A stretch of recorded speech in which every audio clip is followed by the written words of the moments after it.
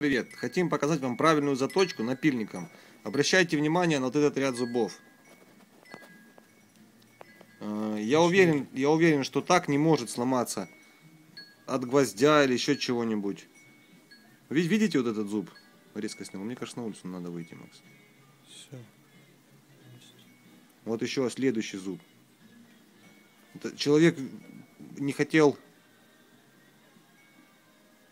Как-то слова, конечно, может поменять будет. Не можем, то и ладно.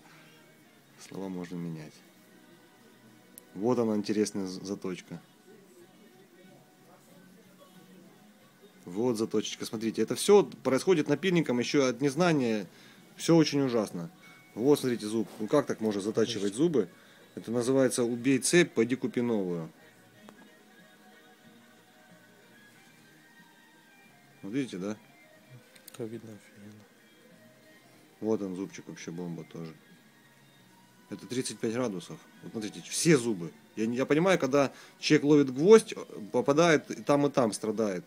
А здесь видно, что затачивали как бы вот напильничком. И специально такое ощущение, что человек думал, что вот эту грань надо ставить побольше, чтобы она ж режет эта грань. Видите, все зубы такие.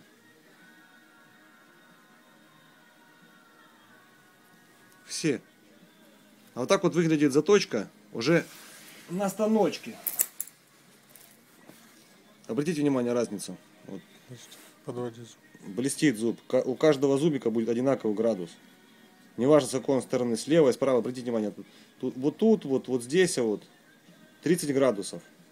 Правильная заточка, зуб должен блестеть. Если вам дают зуб, на нем есть чернота, значит, э, тот, кто затачивал, передерживал металл, и он перегрелся, получается. Чернеет металл. Он должен, должен, каждый зуб должен блестеть. Видите, как зубы блестят? Вот это правильная заточка на станочке. Всем спасибо.